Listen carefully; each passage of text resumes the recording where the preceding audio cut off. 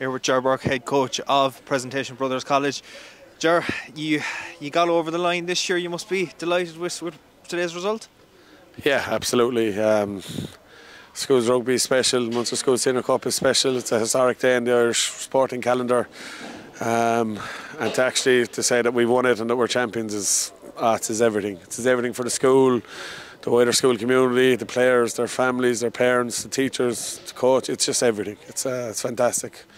I suppose with what happened last year as well, where you got to the final, lost the way you did to, to Crescent College, to come out this year, your first game, you lost to Christians in such a dramatic fashion, and today you managed to do it in, in, in dramatic fashion as well. Those, that second half hat, hat trick from James was just Phenomenal, surreal. yeah. Like. Well, look, I'll be honest.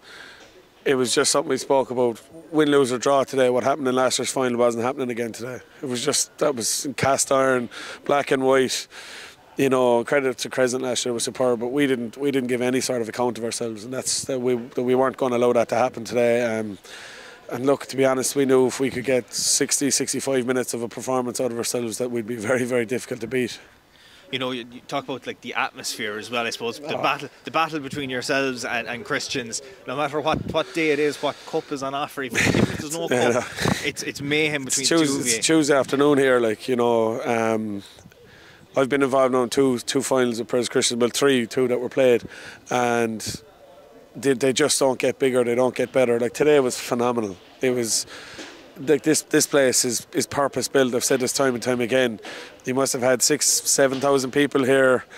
The atmosphere was amazing, and I think Pres and Christians probably bring the best out of one another. I don't think there's one without the other, and uh, our rivalry just continues to be what it is. And I think for me, it's it's the biggest school rivalry, the oldest school rivalry in the country. Um, a debt of gratitude owed to both sets of schools. Um, just phenomenal, phenomenal to be a part of and to be in the middle of it. To be honest.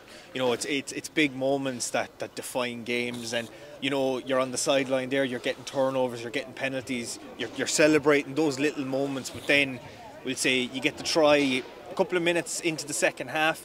Is there a, a worry in your head at that Yeah. stage that you could get a bit complacent, and take the foot off the gas, and, and you could Com- complacent- see shades of that. Complacent wasn't to worry. Um, like we spoke at half time, you know, I suppose the fact that we weren't well ahead at half time was probably served as well. As like, we had to go and score. That was the first message. The game was not won, anywhere close, but we had to go and score.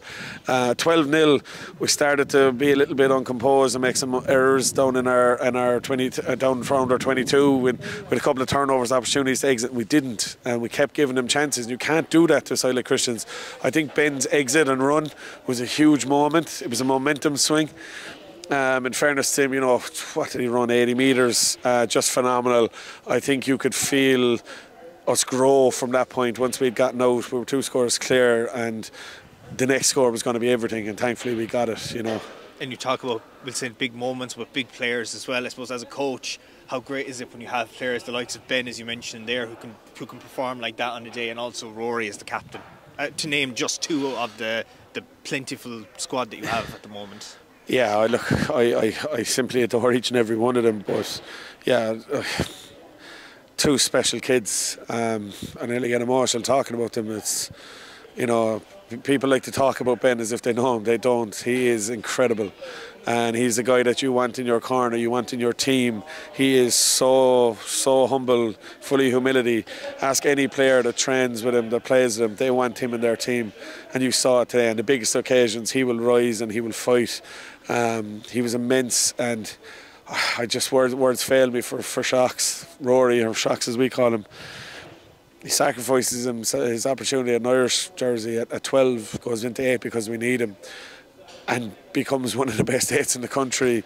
His leadership on and off the park, he is a credit to his mum and his dad, his family, and to the school. He has been talismanic in every game, not just today. He has been outstanding. He's his consistency in training. He's just, and he was a big, um, he was a big force behind the scenes between the semi and the final. He was driving standards. Um, I have to say, I was just so proud of, so proud of him, and so so impressed by him.